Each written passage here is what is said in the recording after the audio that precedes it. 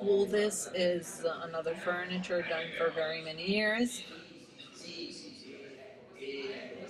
Well, this image, I've inserted it because, well, first of all, I've inserted this for uh, Giovanna because she is a geologist and therefore she, of course, said thank you. So she said, okay, let's just put this some extra points and maybe Giovanna can do another exhibition with me. Besides all these jokes, I like this image which shows how small that machine is, uh, or that truck there is. Imagine, it's gigantic. If we stand close to this, is gigantic. But with this image is so small, and it means that you're digging, digging, digging to doing some objects in marble that very frequently they consume a lot of material. And therefore, in 2007, I have created uh, several collection of furniture totally done in marble, but empty inside and they're they're boxed. This is how it's called. It generates some very light objects, and it's not that, of course, it's super light that you can just throw it and it's like a feather, but it's super light compared to the typology. And the first table was done in marble. Then, for the exhibition done in Studio Castiglioni, always with the same company, the material was coming from the same company. Well, they've done some different kinds of uh, like sort of benches, stools. And uh, going to their company, I've seen that there were these marble marble slates that cut very, very thinly. Well, they could be flexible. And why is this so? Because marble, if it's cut so, so thin, it's flexible.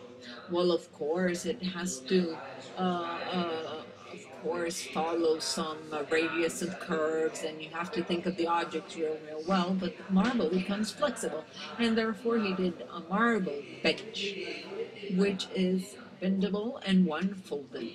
So this structure is in wood, and the lower part is basically the end of the curve of the marble. When no one sits, the marble is straight. When the person sits, the marble goes through a curve. The person can weight 50 kilograms or 200, it doesn't really matter because the structure of the wood ends the curve. Of course, under the marble, there is a very, very thin film of glass fiber that makes this marble flexible. It compacts it when it flexes and curves and avoid it to uh, break. And that uh, was presented always at the same exhibition. That's a very beautiful project. And establishing sun has nothing so strong. I know you don't really appreciate what I have said, but uh, you know, sometimes, uh, of course, that was just uh, uh, done, but very many times we look at things done by all these names. Ah, Deed, who does the table for well, this object, I mean, I don't know if you do agree, but it has an incredible strength. Nothing like that has been seen. Well, she loves it, of course, but the interesting thing is besides the shape is uh, the emotion that you have when you sit on this. I mean, once you sit on it, well, I remember the first time in reality, the first time I standed on this because I went to the company. We had put uh, uh, some bricks on one side and on the other on the floor. We have positioned that, and I stepped on it. And I was a bit afraid not to hurt myself, but to break the material when I said, hey, it's impossible. And I have that sensation, and every time I sit, well, actually, the first time I sat on this, uh, I remember in Castiglioni, well, very many people had this sensation of, can I sit on this? Rather, uh, we did also some uh, bended marble um, benches. A shape of this kind could be done only with full marble, therefore a full excessive weight marble, and therefore with the use of resources that was incredible. This is why I have used several objects of marble, just to make you understand how much we're digging. Rather, actually here it's just a box, the marble, it's just the external faces. Well, I was telling you that this shape could actually be done just with a full piece of marble. Rather, this and this other one are done in folded marble, and therefore it could not be done in any other manner. Rather, in this way, bending the marble, we managed to do this box shape. And you see that he's holding it up, and it's definitely not so heavy. Uh, this is an image when they were pulling this down from the truck. And you can see that the guy he's carrying it, I mean, he's not, this is a bench that weighs 70 kilos probably, but 70 kilos is a lot. But it's two meters and a half. And if it was made of paper, it would weigh pretty much the same. And think about it, of course, there is a piece of marble. It's four millimeters, five millimeters of marble that, of course, weights. But if this bench was done with the traditional technologies, well, of course, five people could not raise this. I mean, you probably need a machinery. These are just some experiments always referred to materials done very many years ago in 1997, and they were some uh, like a collection of lamps done in polystyrene. The objects of Campeggi. Well, I just put a few. They're objects that originate uh, by what happens. This is in my house. I suffer when it's hot and I like the fan. But living in an apartment, every time, I mean, at a certain point of the year, the fan is taken and then put in, in the, uh, right, in March, you don't really want to go uh, in the basement and go get the fan that you have put there in the winter, right? And so you need a fan that can be used and kept in the house without being annoying and therefore changing the plane and the reference, it can become something different. Well, vertically is a fan. Horizontally, it becomes like a little table.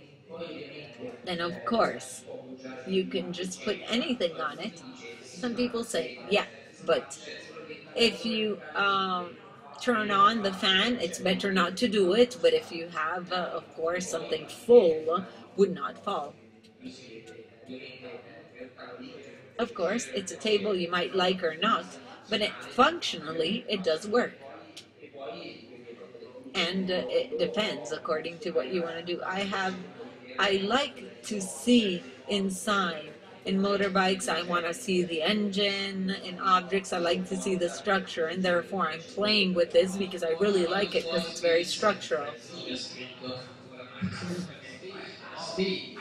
you just uh, every time that you you do something you just show the interior of things right well you say that uh, objects originate by looking at yourself around well usually the the um, people in triennale were hiding somewhere just to sit down and everything and so i said well why don't we do like a chair that just puts everything together with the logo of the Triennale and this chair. Triennale said immediately. And then he started doing several things, like this object. If you go to Triennale, they're the firemen who are there walking and never know where to sit. And I said, well, let's do a stool for them. Post action, it's called postazione, which was uh, just treated with the same uh, uh, logic of uh, the, the, various things used, or maybe a lamp to hold the extinguisher. These are objects that work for several uh, reasons. I mean, they have rather speaking about Campeggi, well, this was present in Giovanna Castiglioni studio, and uh, this is uh, um, a small little uh, armchair, and when you need it, it becomes a ladder. Then it could be a chair, it could be a stool, informal chair, and of course, it should have, uh, to be understood, it should have, a, I don't know, a bookshelf and something. And the relation is the fact of taking something, or else it's a project for itself. But when you have to take an object, you understand the use of this. This was a mirror and a table uh, it's a mirror of 160, 180, very big, that you can detach from the wall, and it becomes a table. What was interesting that when I presented this, I did not think of the possibility of having this become uh, a mirror for the floor, and the idea was given from a person at the Salone Satellite. When he put it on the floor, ah, he said, hi, I like it with this shape. And he never thought of that. But very frequently, you have to be capable of uh, understanding several ideas because a project sometimes you you work on it so much that some things you just miss out on. So it's very nice to just share these projects and now you became like the master of the transformable. Maybe it's the wrong word, but uh, of this kind of design that Campeggi is definitely the ideal company, right? It's their mission, the find of looking for these multitasking objects.